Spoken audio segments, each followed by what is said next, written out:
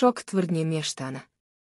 Dankina porodica majka Ivana Ilić i otac Miloš Ilić bili su u velikim dugovima, a imaju i dobre kontakte sa Rumunima.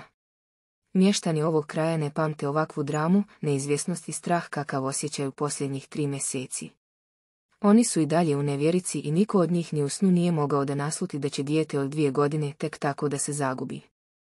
Iako srpska policija ne gubi nadu, kao i svi naši građani, još čašlja svaki pedalj u Banjskom polju, Boru i okolini, među mještanima ovog kraja pojavljuju se mnoga nagađanja i teorije za ovaj nesvakidašnji slučaj. Jedno od takvih nagađanja, koji se najglasnije čuje na ulicama Bora i okoline, jeste da je Dankina porodica bila u velikim dugovima.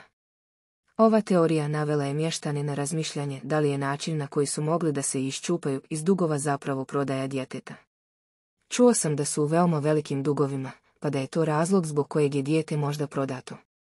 Pouzdano znam da imaju kontakte sa Rumunima i to sa očeve strane, pa se pitam odakle na snimku iz Beča baš dve državljanke Rumunije, rekao je jedan mještanin Bora. Inače, vjerujte mi, ovo hladnokrvno ponašanje članova porodice nije normalno. To je dijete, nije bilo koja stvar pa da se zagubi. Istakao je ljutito ovaj mještanin i dodao. Znam da su bili u velikim dugovima, ceo grad to zna, ovo je malo mjesto, a sada kad smo čuli da su kupili stan nismo mogli da vjerujemo, svi smo u šoku. Odakle im odjednom novac za stan? Pitaju se građani Bora. Također ovaj mještanin nam je potvrdio da su Ivana Ilić i Goran Pavić bili u vezi. Bivši direktor vodovoda koji je osumnjičene kobnog dana poslao u Banjsko polje.